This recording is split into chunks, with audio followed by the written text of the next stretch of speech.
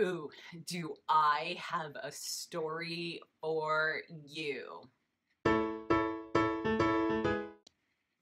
Hey guys, my name's Wendy Valencia, and if you are new to my channel, make sure you click that big red subscribe button down below and go click that bell notification icon so you don't miss a thing. Because today I'm telling you stories about crazy people at the bank. True story.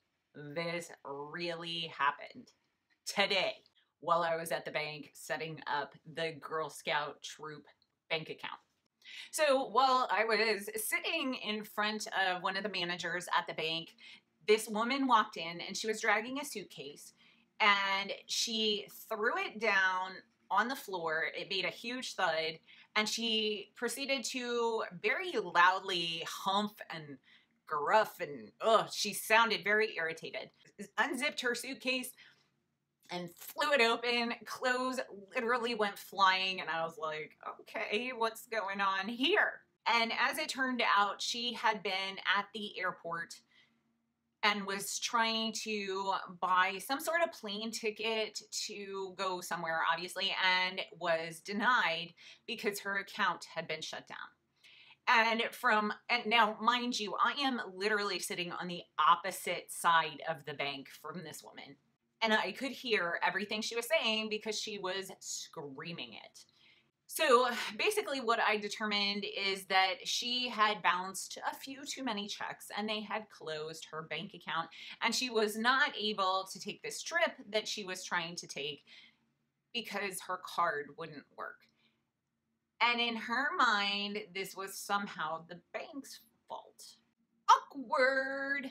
I sat there and literally, while I'm sitting there, I'm actually kind of plotting out what I'm going to do when this woman launches herself across the teller's desk and does whatever she's going to do. I had I had literally like plotted out. I'm like, okay, so she probably hasn't seen me where I'm sitting. I'm going to crawl along, drop down under the desk, crawl along this floor, and if I go up to this wall, then I can lunge at her and take her down. Yeah, I'm that girl.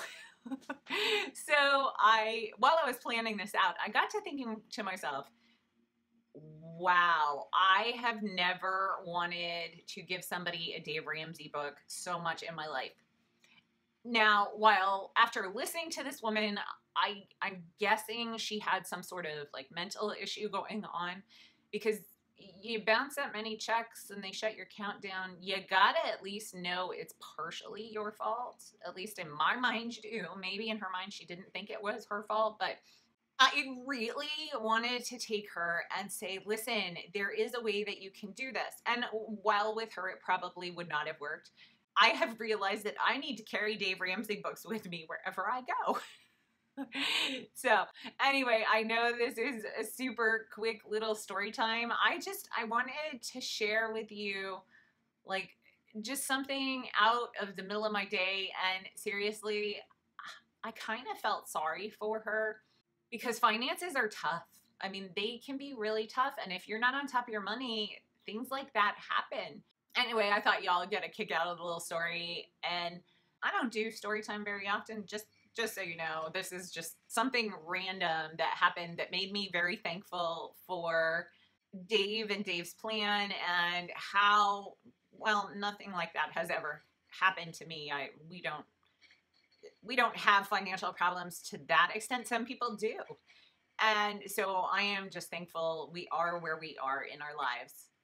And so thankful that we have discovered Dave Ramsey and his plan because we really are able to move forward in our life and we're going to be very financially stable in the long run because of it. I mean, Mauricio is in his early 30s, so by the time he he's just starting his career. So by the time he retires, you know, we're going to have most of his career debt free. I mean, how awesome is that? So, anyway, if you are new to my channel, make sure you click on my big laughing face to subscribe and I will put up two videos so you can keep on watching. This video up here is my latest one and this one right here is one YouTube picked out just for you. So I'll see you in the next one. See ya. See ya.